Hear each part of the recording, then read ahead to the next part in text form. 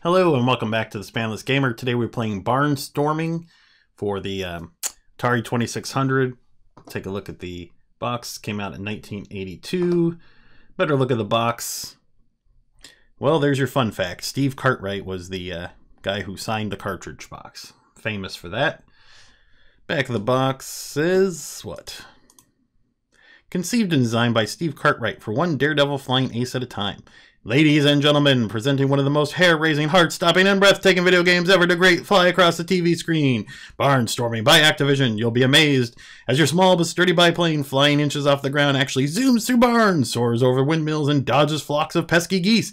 And you're at the controls. Don't be afraid. Climb into the cockpit and take off with Barnstorming by Activision. Happy landings! Okay, so I don't have any fun facts for this game. Mostly I don't want to hear my jingle again. Okay, so this is barnstorming. Obviously I'm doing pretty good so far. Okay. So, geese just bounce off me. It's like Flappy Bird, but not. Boy, oh boy.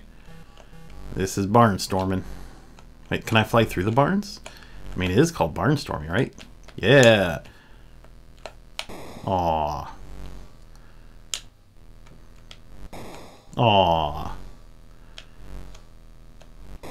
Who put that there? Okay. Oh, so there's a number I'm supposed to fly through. Four, three. Got three more to fly through. Two, one, and I've successfully stormed the barn. Yay.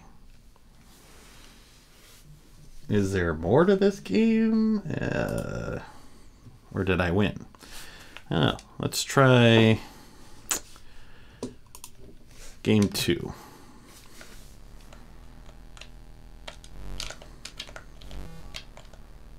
And the button doesn't seem to do anything. I don't...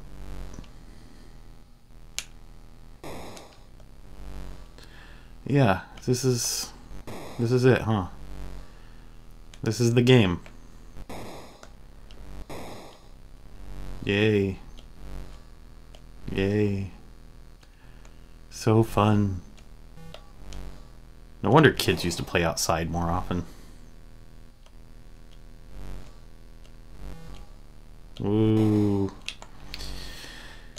So terribly thrilling, barnstorming. Got a pretty sunset back there, though. That's kind of cool. Well,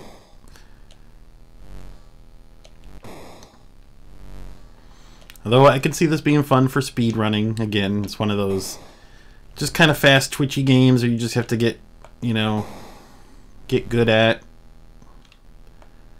Have good reflexes. Try to improve your time.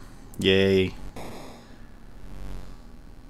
Well, you know, when you look at the graphics, are cute. Like you can actually see that that the guy in the plane has like a little flapping scarf on. That's pretty impressive for an Atari game.